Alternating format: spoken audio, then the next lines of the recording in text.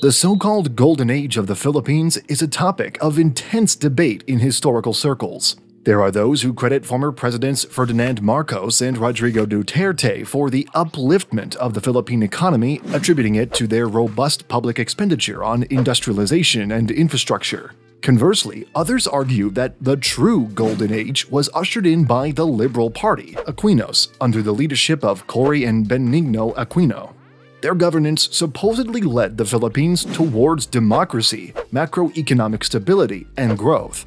Amidst these contrasting narratives, the question arises who truly catalyzed the country's economic transformation? This question is best answered in a manner that acknowledges differing perspectives, yet it is also crucial to rely on economic indicators as they provide the most objective measure of a country's economic performance under a specific president. Among the array of presidents who have graced the Philippines' political stage, one figure remains conspicuously prominent Ferdinand Marcos. He is seen by some as the Philippine savior, while others decry him as an unscrupulous, power hungry tyrant. The economic situation during Marcos's tenure was not as rosy as it is often portrayed. The prevalent misconception is that the Philippines was one of Asia's wealthiest economies under his rule, but this notion is far from accurate. The peak of the Philippine economy was in the 1950s, well over a decade before Marcos assumed office. Marcos's economic strategy was heavily characterized by public spending. His ambitions were evident in his enthusiasm for infrastructure development and industrialization. Marcos implemented a flurry of projects and established numerous ministries that, to this day, continue to function as vital cogs in the Philippine government's machinery. Indeed, his achievements are most evident through his approach to government expenditure. According to the latest data from the World Bank, gross capital formation from 1981 to 1983, just before the financial crisis he triggered, was among the highest in the historical period until 2021. Gross capital formation, a key measure of societal progress, is the investment in capital goods like machinery, equipment, infrastructure, buildings, and other physical assets. These investments are critical for an economy's growth and industrialization. However, Marcos's presidency had a significant drawback, which could shed light on why his time in office is not considered the Philippines' golden age. A significant aspect of the economic strategy during Marcos's tenure was reliance on debt, particularly foreign debt. In 1975, the Philippines' external debt stood at approximately $4.1 billion. However, by 1982, this figure had skyrocketed to over $24.4 billion, a staggering increase within a relatively short period. This characteristic over-reliance on debt became a defining feature of Marcos's economic policy, by the mid 1980s, the burden of his debt led to the collapse of the Philippine economy, necessitating a bailout from global institutions and triggering a series of economic reforms when President Cory Aquino assumed office. While it may be unjust to attribute the collapse solely to Marcos's external debt accumulation, it certainly exposed the country's economic position to grave vulnerability. Furthermore, the global economy was contending with its own set of challenges, including oil shocks and Latin America's debt crisis, among other issues. Given these circumstances, it is difficult to claim that the Philippines experienced a golden age under Ferdinand Marcos. Even if we were to evaluate the years of economic growth under Marcos's rule, the performance was relatively weak. World Bank data reveals that the average GDP growth rate from 1982 to 1985, just before the economic collapse, was a mere 5%. This figure, which doesn't consider the subsequent crisis under Marcos, is quite modest, particularly when compared to the growth rates of Singapore and Malaysia under Lee Kuan Yew and Mahathir Mohamad, which were 8 and 6.2% respectively during their extended tenures. The discussion now shifts from Ferdinand Marcos to the Aquinos, specifically Presidents Corazon and Benigno Aquino. Under their leadership, the Philippines experienced moderate growth, Corazon Aquino, who assumed office in 1986 after Marcos's ousting, inherited a nation burdened with a colossal debt and a nationalized production sector. As a result, economic growth was limited during her tenure, and her administration is better remembered for its transformative effects.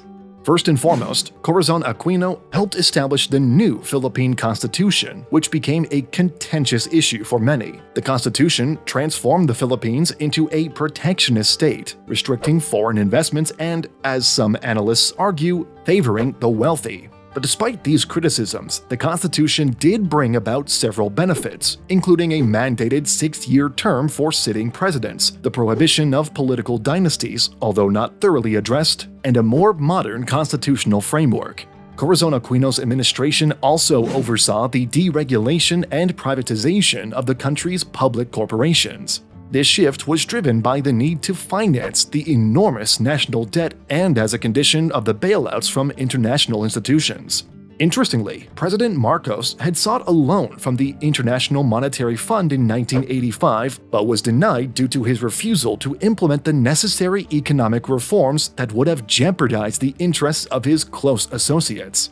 In summary, the Philippines under Corazon Aquino underwent significant change, transitioning from the policies and laws of Marcos's regime to the Aquino era. Benigno Aquino was a standout figure in Philippine history. He inherited an economy recovering from the global financial crisis and is often credited as the architect of the golden age of the Philippines, transforming the nation from an ailing economy to a thriving tiger economy. His tenure was marked by impressive economic indicators. From 2010 to 2015, the gross domestic product grew at an annual average of 6.2%, the highest rate among all presidents since the 1950s. Unemployment rates fell from 8% at the start of his term to 6.1% upon his departure. Inflation remained stable, and overall government debt decreased. However, Benigno Aquino's conservative governance drew criticism. The current finance secretary and former central bank governor, Benjamin Diokno, who has served under several administrations over the years, has been particularly critical of Aquino. Diokno argues that Aquino's fiscal policy, which favored bucket surpluses and small deficits, was misguided. As a professor emeritus at the University of the Philippines, Diokno has expressed in his column for the university's policy analysis that Aquino should have invested more heavily in public infrastructure. This perspective leads us to the next potential golden era of the Philippines, as noted by Diokno. Average GDP spending on infrastructure was a mere 2.3% under Benigno Aquino, compared to over 5% under the Duterte administration. Undoubtedly, former President Rodrigo Duterte holds significant relevance in contemporary Philippine society. Despite being enveloped in numerous controversies, Duterte, a populist, reformist, and strongman, revolutionized various traditional policies in the Philippines during his tenure. However, Duterte inherited an economy riddled with substantial challenges. One of his significant contributions was lifting foreign investment limitations in critical sectors, causing analysts and investors to positively anticipate the future of the Philippines. Duterte's policy changes have set the stage for the current president Bongbong Marcos, whose administration is attracting considerable investment. Duterte also overhauled the entire taxation system, earning him praise for many quarters. Furthermore, infrastructure spending surged under his leadership, leading some to dub it the golden age of infrastructure. World Bank data reveals that gross capital formation reached over 27% of GDP in 2018, nearly matching the peak during President Ferdinand Marcos' tenure, only to fall due to the COVID 19 pandemic. Nevertheless, Duterte's economic legacy is not without controversy. His administration faced widespread criticism for its human rights record and its handling of the COVID 19 pandemic.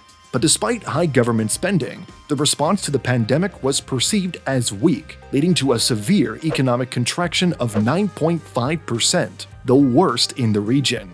Interpreting the legacy of these presidencies can be quite challenging, as we have not delved into the eras of other leaders who may also merit recognition for their initiatives. However, the quest should not be about pinpointing a historical golden age of the Philippines. Instead, it could be argued that the country has yet to experience its true golden age. This perspective often gets overlooked. While some may assert that the Philippines has had its golden eras under various presidents, macroeconomic indicators suggest no sustained period of economic growth to back these claims. Consequently, the country has been overtaken by several of its neighbors since the 1950s, a decade when it was among the wealthiest economies in Asia. Moreover, the issues constraining the Philippine economy are not confined to any specific presidency. Numerous studies since the country's independence have critiqued the failings of its overall democratic system. The influence of the United States has resulted in weak institutions and an unstable political climate. The country's geographical characteristics, frequently plagued by natural disasters and situated in a tropical region, also pose challenges. Nevertheless, despite the multitude of issues, the Filipino spirit remains buoyant. Numerous surveys over the years reflect this optimism. For example, a 2015 Gallup survey found that 66% of Filipinos were positive about finding a job, a figure higher than the United States' 51%. More recently, a recent 2022 survey by the social weather stations revealed that 46% of Filipinos were optimistic about improvements in their quality of life in the upcoming 12 months, with a mere 4% predicting a decline. Okay, optimism may not be a good indicator for economic success, however, such optimism is important in the era of the current administration, which may result in public support. Only time will tell, after all, what will happen in Bongbong Marcos's administration. But anyway, do let us know what you think. Thanks for watching.